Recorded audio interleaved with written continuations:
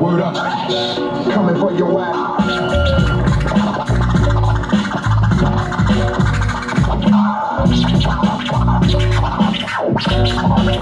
Bring it on!